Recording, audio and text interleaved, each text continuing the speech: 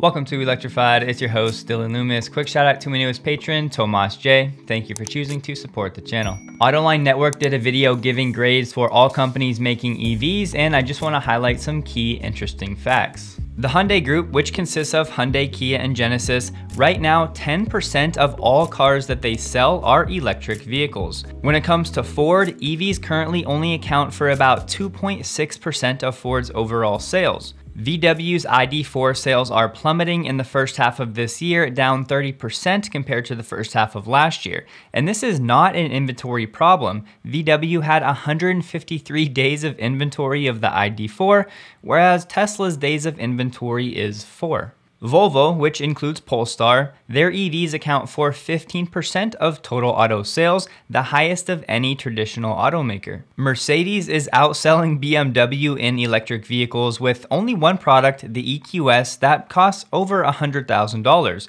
Remember, BMW has been dabbling in EVs for nearly 10 years. And lastly, Honda, Stellantis, Subaru, and Mitsubishi did not sell one single full BEV in the first half of this year. Here we have a pretty fun chart. It's just the last two years of data of Tesla's stock price in the blue and Tesla's price to earnings ratio in the red. Remember, PE is just the stock price divided by the earnings per share. The point here is that over the last two years, Tesla's stock price has increased over 200%, and at that same time, with that as the numerator, the denominator has actually increased significantly more than that because, of course, the denominator has to be higher than the numerator for that number to actually compress, that number being the PE ratio. Now, yes, going forward, we should absolutely expect lower PE ratios overall because now we're in a monetary tightening scenario instead of a monetary easing as we've seen for a while now. We also have interest rates going up. With that said though, if you love Tesla stock when the PE ratio was over 1000 within the last two years,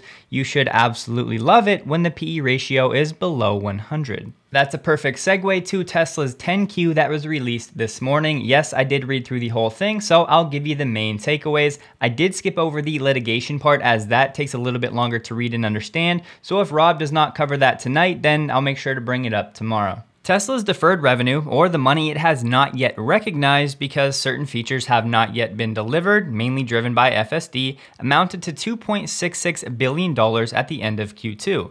Tesla is expecting to recognize $1.02 billion of this revenue over the next 12 months. This will provide a nice boost to earnings over the next four quarters. Tesla's fair market value of its digital assets, currently Bitcoin and Doge, sits at $222 million at the end of Q2. At the end of the quarter, Tesla only had $9 million of total unrecognized stock based compensation expense remaining related to the 2018 CEO Performance Award. Tesla does have other performance based grants that total $283 million, and these are also stock based compensation. However, this is separate from the 2018 CEO Performance Award, and this amount, the 283 million, will be recognized over the next three years. We got an update on Giga New York. On February 1st this year, Tesla reported they met and exceeded their annual requirements for jobs and investments in Buffalo and for New York State. Tesla is currently in excess of capital expenditure and employment targets, and they do not expect any issues meeting the obligations in the years to come. Tesla is currently expecting capital expenditures to be between 6 and 8 billion dollars for 2022, 2023, and 2024. This is up slightly from 5 to 7 billion dollars in prior years.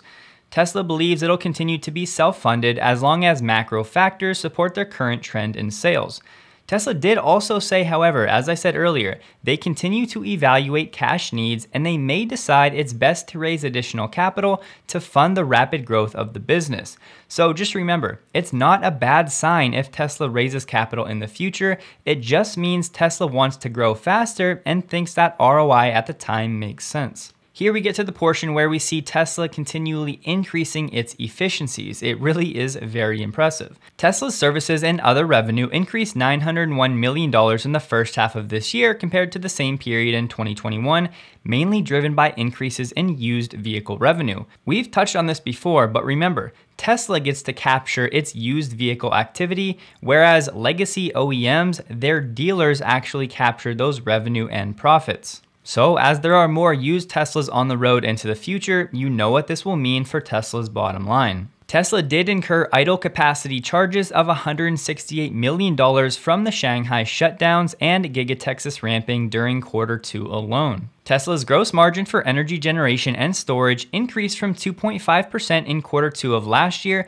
to 11.2% in quarter two of this year due to higher deployments of the Powerwall, which operate at higher gross margins when compared to Megapacks. Tesla's R&D expenses have decreased as a percent of revenue to 4% in the first 6 months of this year. In the first half of 2021, Tesla's R&D expenses were 6% of revenue. So, Tesla's R&D expenses are decreasing proportionately as a percent of revenue despite expanding product roadmaps and new technology. The same theme is playing out with Tesla's SG&A expenses, which have decreased from 9% down to 5% due to operational efficiencies. And Tesla incurred a $36 million expense in quarter two for employee terminations.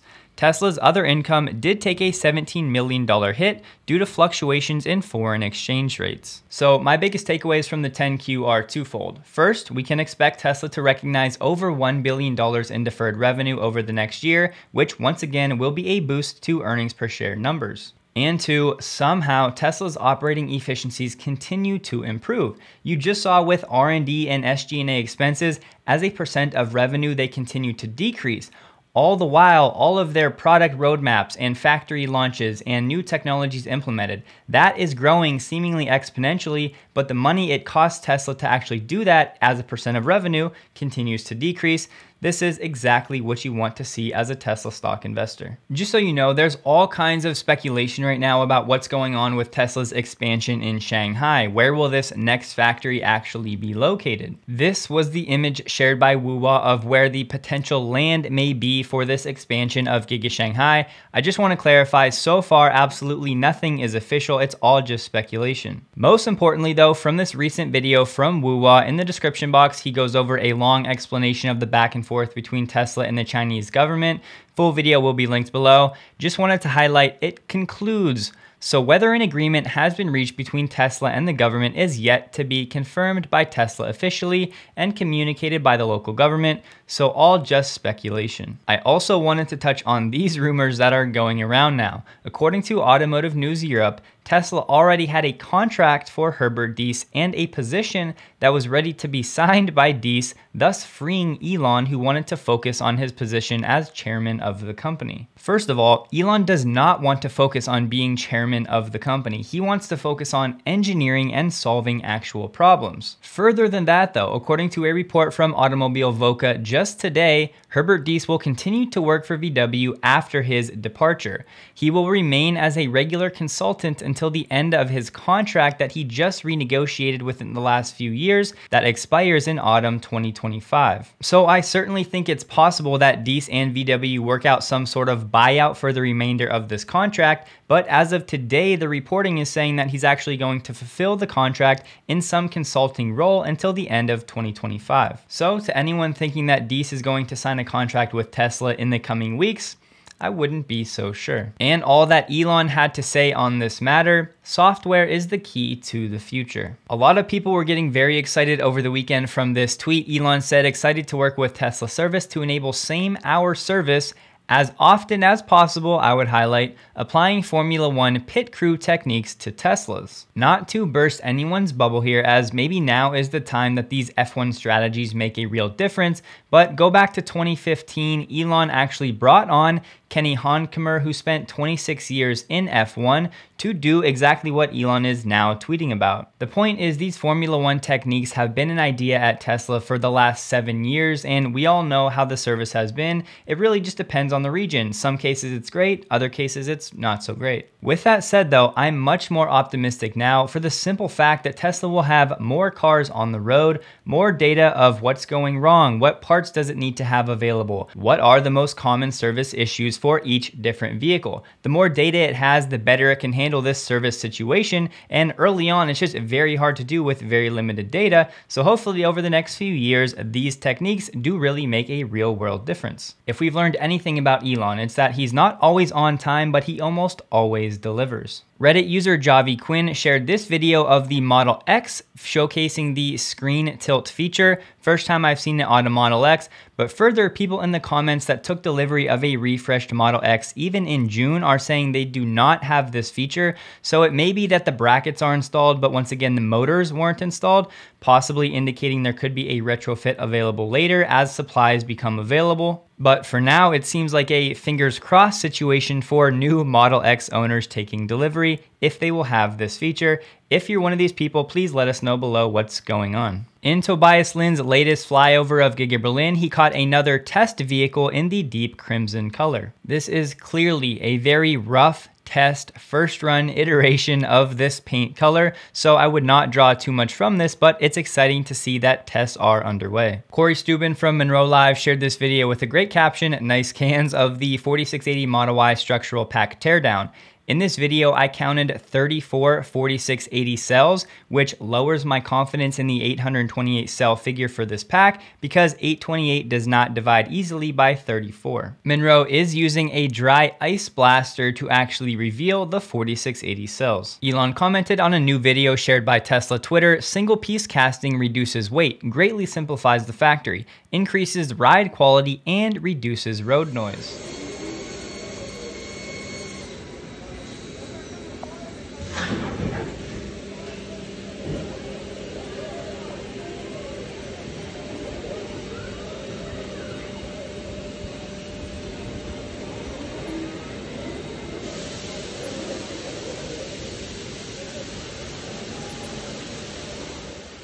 On FSD Beta 10.13, Elon said it may be the end of this week. The team is working hard on it. He added it should be a major improvement with respect to complex left turns. If you guys were here last week, you may remember what I said about Redwood. I truly believe it is an absolute American national treasure. People will understand this toward the back half of this decade. Today we learned this. It's set to spend $3.5 billion on a battery materials plant in Nevada. It's currently under construction just outside of Reno and it's expected to produce the key ingredients needed to make the batteries that power electric vehicles, this refining process for cathodes and anodes that America desperately needs to get on board with to stop being so reliant on China. Even domestically mined lithium likely would need to be shipped to China or elsewhere in Asia before making its way into a battery cell here in the States. Today, China makes around 80% of the world's cathode material and more than 90% of its anode material. Redwood says come 2025, the company expects to be producing enough cathode materials and copper foil to support roughly 1 million EVs every year. More importantly, JB said Redwood expects to be able to source around 30% or more of the lithium and nickel and 100% of the cobalt Redwood needs to make these cathode materials from the company's growing recycling operation. This is the pathway to building a closed loop battery ecosystem here in America. And yes, Panasonic is slated to be the company's first copper foil customer starting later this year, who does Panasonic make batteries for in Nevada? You already know the answer. Tasmanian did an article on Tesla's Q2 data, and the point is Tesla has a 3% market share of all United States auto sales. Now, this is important to remember as Tesla trends toward 20% of auto sales. We are still very early in the game, so if you feel like you're late to Tesla stock, we're still just getting started. In Europe and China, Tesla is slightly below 2% of the overall auto market. Once again, though, we had Shanghai shut down and Berlin is just getting warmed up. So Tesla over that 3% market share in the US and Canada, but the point here is usually on the new technology adoption S-curve wave, things start to get really exciting between the 5 to 10% adoption. So we're very close to that tipping point. Now, we don't need to get into Elon's personal life here on the channel. It really just feels grimy to me. That said, I do want you to know Elon has denied these crazy accusations that the Wall Street Journal has stooped to a new low in reporting. To prove it, he also shared a picture that was apparently from last night of him having a good time with Sergey Brin, so all is well, reports are false. I'm only sharing this little bit so you know that now even the Wall Street Journal has also run many hit pieces against Elon. What does he say we should do? Call them out on it, I guess. Tesla is currently installing the first supercharging station in Turkey, and this is the first time I've ever seen these little designations on the top telling you what version they are. These are V2 up to 150 kilowatts. Let me know if you've seen these designations anywhere else. Hands down when it comes to EVs, I think this is the best idea GM has had. This is a new free online chat tool to help educate new and potential EV customers. GM just launched EV Live, a free online platform that connects EV owners or consumers who have questions about ZEVs and trucks with an expert who can answer them. A GM VP of EVs said addressing common misconceptions about EVs will accelerate widespread adoption. We saw a need for accessible, credible, and engaging sources of info to empower consumers to adopt EVs and appreciate their many benefits. I have been wanting Tesla to do this in a more direct fashion now for years. The platform will have EV specialists in a live studio alongside EVs in simulated charging scenarios. They'll answer questions through voice or text chat and will have two-way audio equipment and one-way live video so consumers can watch as the expert demonstrates a charging connection as an example. Now granted, I'm not sure how well something like this can scale. That said, there are so many people that aren't on YouTube, they're not on Twitter, they're not aware of the Tesla community and all of the information we're all trying to disseminate. So something like this being another onboard ramp for EV education is an awesome idea, so I don't say it often, but props to GM. And last up for today, Elon reminds us self-driving electric cars will be all that matters. Gas car without autonomy will be like riding a horse and using a flip phone. It still happens, but it's a niche. That'll do it for today. Please like the video if you did. Hope you have a wonderful day. And a huge thank you to all of my Patreon supporters.